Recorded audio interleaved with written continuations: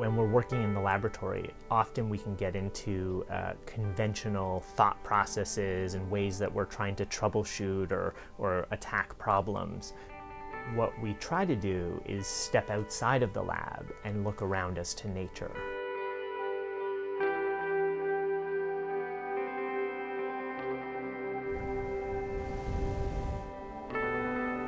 Think that we're just surrounded by solutions.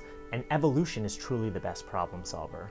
And so we've been looking at different creatures in nature for concepts that we can then borrow.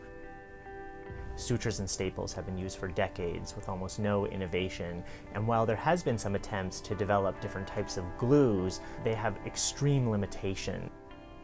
We've developed a, a, tape that was inspired by porcupine quills. We've developed a, a surgical glue um, that can work inside a beating heart to potentially seal septal defects. So a number of babies are born with holes in their heart and we have a glue that can that can actually work in that very challenging environment. That was inspired by a number of creatures in nature that have viscous secretions that enable those secretions to stay on surfaces even in the presence of flowing water or, or other types of fluids.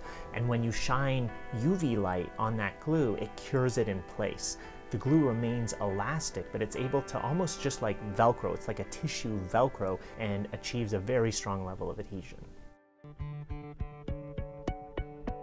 Spider webs have regions of their web that are sticky, but then they also have regions of their web that are not sticky, which the spider uses to walk around its web.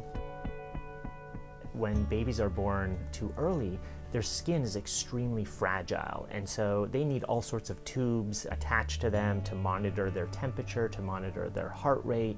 And so when you put traditional tapes onto the skin to attach tubes, those tapes actually have two components. There's a backing layer, which is what you see when the tape is on the skin, and this is typically paper or plastic. And then there's a thin layer of a glue. And the problem is, is when you remove that tape, the weakest part is not in the glue, it's actually in those children's skin. And so the skin breaks as you remove those tapes. What we did is we created a middle layer that actually was patterned just like the spider web and had adhesive and non-adhesive regions. And so by controlling those interactions, we were able to create a tape with three layers that could strongly attach tubes to skin, but when we wanted to remove that adhesive, we could pull the backing away from the glue. So we leave 100% of the glue on the skin.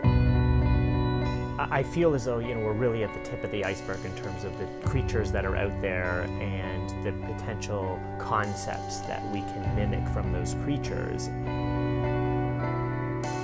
we have these blinders and they're just partly open, and that's based on the tools that we have available to study those creatures that are in nature. And I think with time, those blinders are kind of being slowly taken away.